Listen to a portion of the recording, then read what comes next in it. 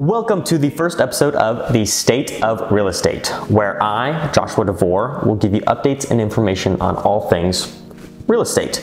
I am a real estate agent centrally located in Columbus, Ohio, and today we're going to be covering SVB, the Silicon Valley Bank, the $200 billion bank that collapsed. But first, I'd like to take a look at the inventory in Columbus, Ohio, where I am locally. Uh, I've got it right here on my computer. So far this week, as of today, Tuesday, April 4th, the date of me recording this, we have had about 240 homes hit the market, bringing our total Columbus inventory to about 2,000 homes. It's a little under right now, uh, just because Easter is just around the corner this weekend, which is as to become expected. Now with that out of the way, it's time to get into our main topic of discussion, which is Silicon Valley Bank or SVB.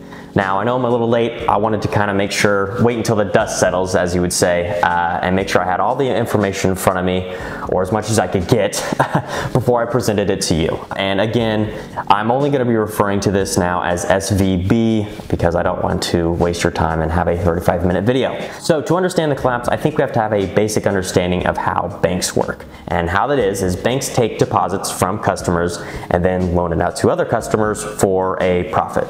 Your money doesn't just get deposited and then sit there collecting dust the whole time until you're you know, ready to take it out.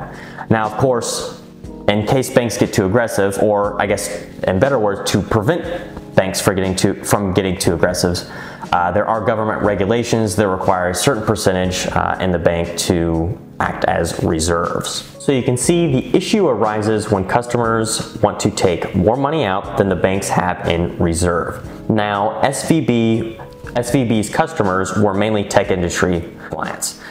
The tech industry, because of rising interest rates, has been hit pretty hard, and a lot of SVB's clients were startups. So because of the slowing, there wasn't very many deposits going in, and because most of the clients were startups, they needed a lot of money to do and run in their day-to-day business, and it, which would then dip into the bank's reserves.